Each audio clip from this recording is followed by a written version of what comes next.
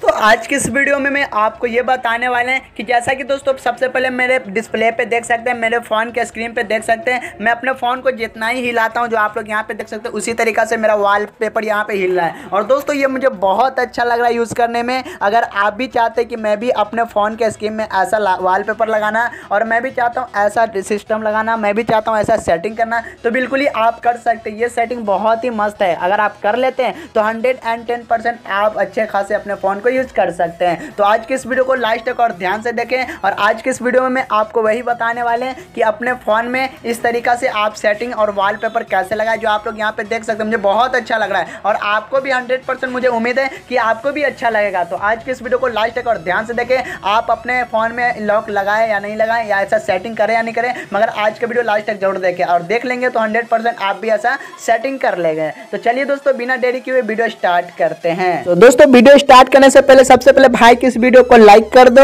उसके साथ साथ यहाँ पे वीडियो के नीचे एक लाल बला होगा, उस पर क्लिक करके सब्सक्राइब कर दीजिए और बाजू में एक बेल आइकन है, इस पर क्लिक करके ऑल प्रेस कर दीजिए। दोस्तों, इससे आपको ये फ़ायदा है कि इसी तरह का कोई भी टिप्स एंड ट्रिक या कोई भी नॉलेजेबल वीडियो आएगा तो सबसे पहले आप लोग देख सकते हैं और कुछ नया सीखकर आगे बढ़ सकते हैं। तो चलिए आज का वीडियो शुरू करते हैं। तो दोस्तों, सबसे पहले आपको क्या करना है? थोड़ा सा अपने प्ले स्टोर में आ जाना है। थोड़ा सा प्ले स्टोर में आने के बाद सिंपली दोस्तों यहाँ पे सर्च करना है कूल वॉलपेपर लिखकर फाइनली सर्च कर देना है। तो जैसा कि दोस्तों यहाँ पे देख सकते हैं, मैं सर्च कर दिया हूँ। सर्च करने के बाद दोस्तों यहाँ पे फाइनली इसको ओपन कर लेना है और ओपन करने के बाद इसको फाइनली इंस्टॉल कर लेना है। तो जैसा कि दोस्तों यहाँ पे देख सकते हैं, मैं ऑलरेडी इंस्टॉल कर रखा हूँ। तो दोस्तों चलिए दोस्तों, मैं यहाँ पे ओपन कर लेता हूँ। तो सबसे पहले आपको इंस्टॉल कर लेना है और उसके बाद ओपन कर लेना है। तो दोस्तों ये जो है एप्लीकेशन ये फ्री है। तो हो सकता है फाइनली इस ऐप में आपको ऐड को देखने को मिले। तो दोस्तों अगर आपको ऐड आएगा तो थोड़ा सा देख लेना होगा, या तो स्किप कर देना होगा। तो जैसा कि दोस्तों यहाँ पे देख सकते हैं, इस एप्लीकेशन को मैं ओपन कर दिया हूँ। ओपन करने के बाद दोस्तों यहाँ पे कुछ ऐसा इंटरफेस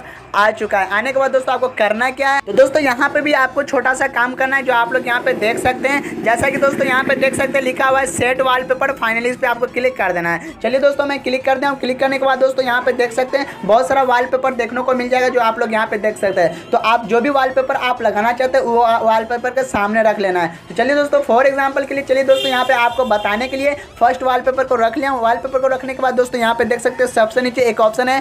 अनलॉक का एक ऑप्शन है। फाइनली अनलॉक पे क्लिक कर देना है। अनलॉक पे जैसे ही क्लिक किया तो डाउनलोड थीम्स का एक ऑप्शन आएगा और फाइनल सबसे पहले आपको सौ डाउनलोड होगा। तो जैसा कि दोस्तों यहाँ पे अनलॉक पे क्लिक कर दिया और यहाँ पे डाउनलोड होना स्टार्ट हो चुका है। तो चलिए दोस्तों सबसे पहले यहाँ पे डाउनलोड होना देते जब तक फ़िलहाल के लिए वेट कर लेता हूँ।